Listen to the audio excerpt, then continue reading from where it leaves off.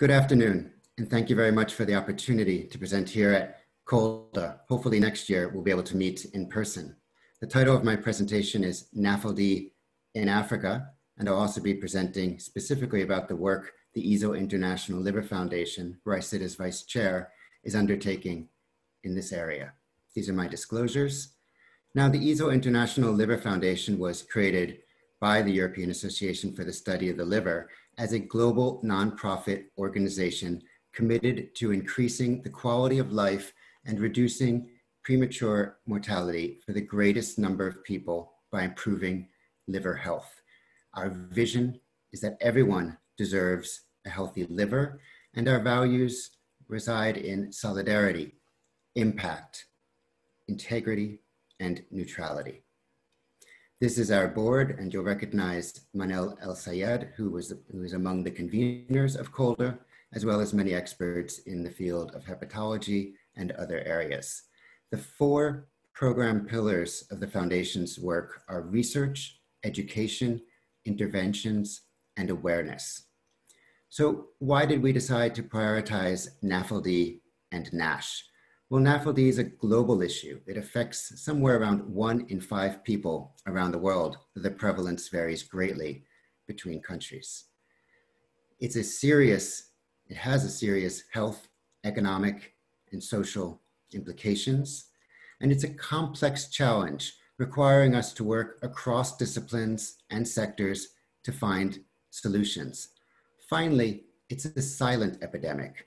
Unlike HIV, which we're well aware of, and viral hepatitis, which the world is now well aware of, COVID-19, and others, NAFLD has received little attention from policymakers or the public health community. Now, there's little available NAFLD prevalence data for sub-Saharan Africa.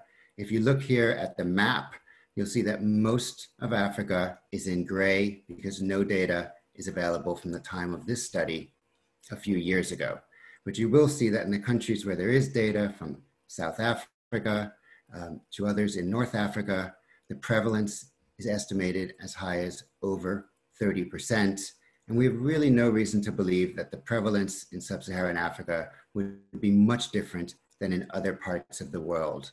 And in other parts of the world, we largely see prevalence rates some, from between 10 to 25%. On the right, you can see two studies, um, one from Sudan, one from Nigeria, um, showing prevalence rates of around 20% and around 8.5%. Those are older studies, and we know that in general, very little is known about the prevalence of NAFLD, similar to viral hepatitis a few years ago and similar to HIV many years ago.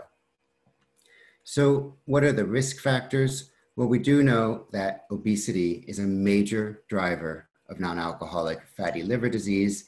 And for obesity, we do have good global data and strong data from sub-Saharan Africa as well.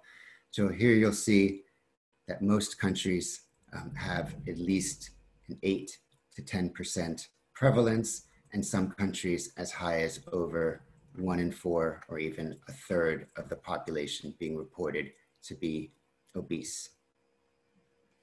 So what are we doing in this area? Well, the foundation is working with partners to advance the NAFLD public health research agenda. It's not just prevalence that we don't know a lot about. We also don't know about what kinds of models of care are in place and what's working and what exactly we need to do in terms of clinical care pathways and addressing the public health and health systems issues that can be addressed to address the clinical issue of NAFLD. We're trying to link NAFLD to the Sustainable Development Goals, and we're working with partners, and you're welcome to contact me or the foundation to develop a call to action to be launched at International NASH Day, the 12th of June in, in 2021. So we're sounding the alarm on this silent epidemic. We've held a series of regional workshops with the Economist Intelligence Unit that I'm going to tell you a bit more about. We're working with the UK-based think tank Wilton Park on policy events, and we have publications in journals like Nature Reviews Gastrohepatology um, and BMJ Opinion and others on the way to mark International Day to draw attention to the issue, but also to focus on issues like models of care and linking NAFLD to the SDGs. We're also working to build consensus for a roadmap addressing what we need to do to address NAFLD NASH as um, a public health challenge and to create a network of global experts and thought leaders to guide this process. And finally, we're working to provide a platform for patients and patient advocates to engage in the dialogue and shape these discussions. We don't want to make the mistakes we've made earlier in, uh, with other conditions by not involving civil society, patients, and other important groups from the beginning. So I mentioned the global review of, of NAFLD and NASH related policies that we're undertaking. Um, we originally carried out this study in Europe. Now we're undertaking a global study of which 90 countries have provided data, including 13 in sub-Saharan Africa. You can see them below. And if any of you are from countries not on that list, do contact us because we would very much like to expand the number of countries providing information about NAFLD and NASH in their country. And these findings will provide a baseline for future efforts and can support knowledge sharing between countries and regions. It will also be used to develop a policy index for tracking national, regional, and global progress. You see here on the right from the European study of 29 countries, the first question we asked was, does your country have any written national NAFLD or NASH strategy or action plan? The answer was no.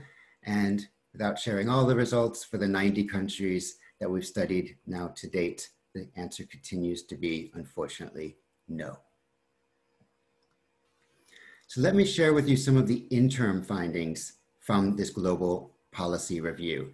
If you look at the top line, you see the data from sub-Saharan Africa. At this stage, we've compiled the information from nine of the countries. None have a strategy, as I already mentioned, but none have guidelines on NAFLD NASH. And look at this compared to other parts of the world, including Europe and Central Asia, where more than a third of the countries do, or Latin America and the Caribbean, where five out of eight do. That doesn't mean that you may not use guidelines published elsewhere, but it means that your country, your professional organizations have no specific um, NAFLD or NASH guideline.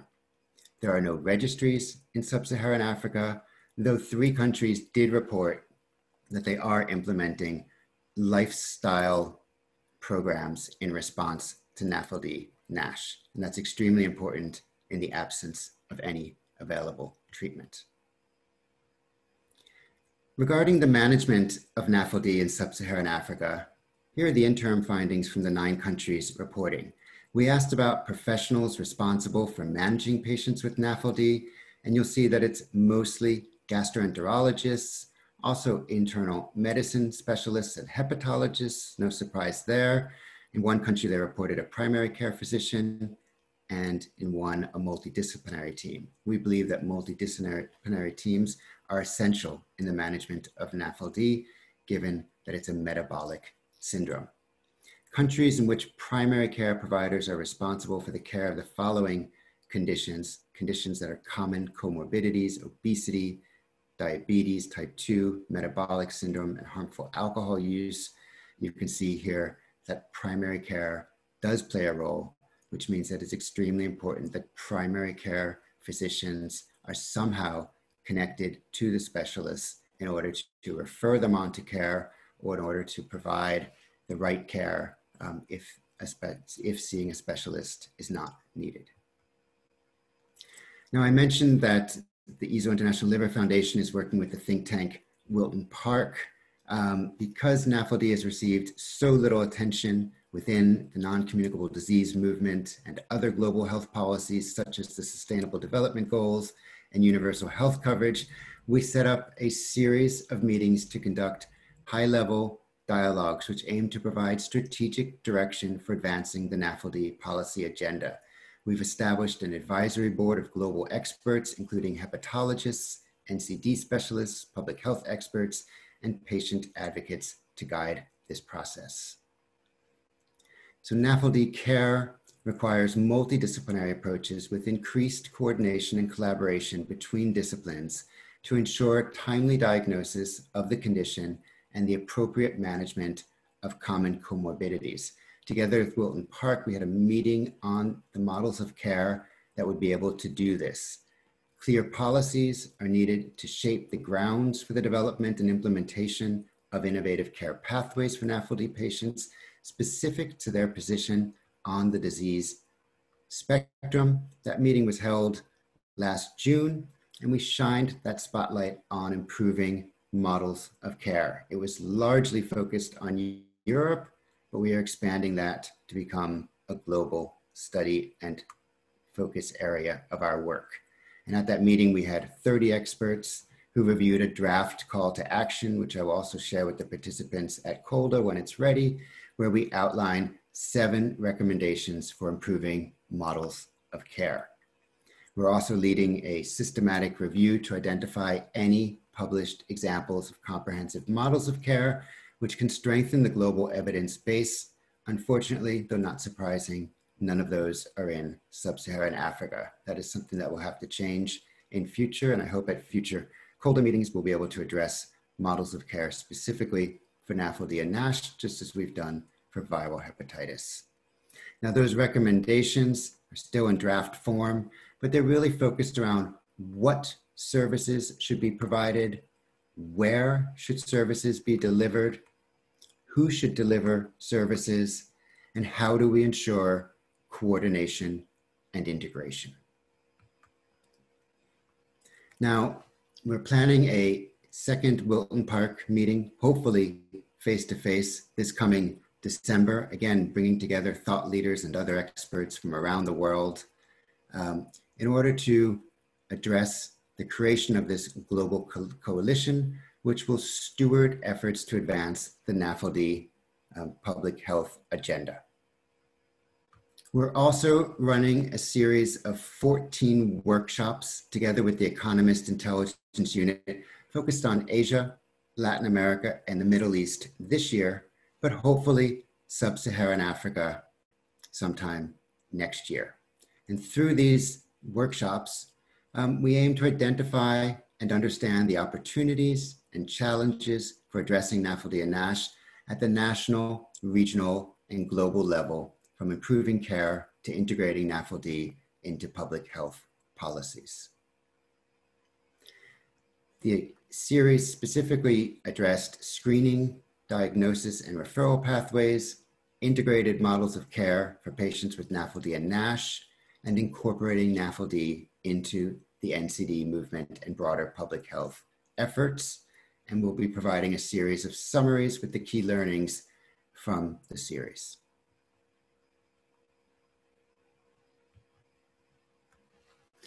Here are some of our recent publications that I mentioned when I was presenting the work of the foundation. So on World or International NASH Day 2020, we um, launched a comment called NAFLD sounding the alarm on a silent epidemic.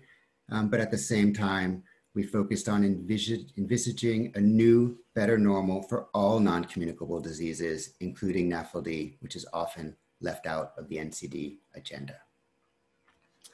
So let me thank my colleagues at the International Liver Foundation for the incredible work um, they've been putting into building the coalition and really building the foundation's platform for NAFLD NASH and coordinating with so many different partners, as well as Nancy Lee at Wilton Park, the experts at the Economist Intelligence Unit, and all of the participants at the EIU workshops, at the Wilton Park meetings, the various patient and civil society groups that have been providing us with expert input on really what we need to do as a foundation to advance the NAFLD and NASH agenda. Thank you very much.